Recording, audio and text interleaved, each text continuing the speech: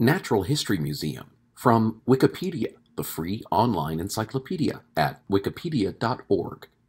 A natural history museum, or museum of natural history, is a scientific institution with natural history collections that include current and historical records of animals, plants, fungi, ecosystems, geology, paleontology, climatology, and more.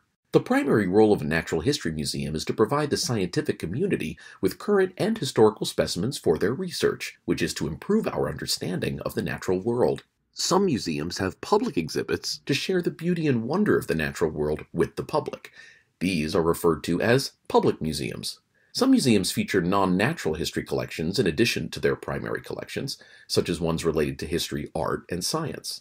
Renaissance cabinets of curiosities were private collections that typically included exotic specimens of natural history, sometimes faked, along with other types of object.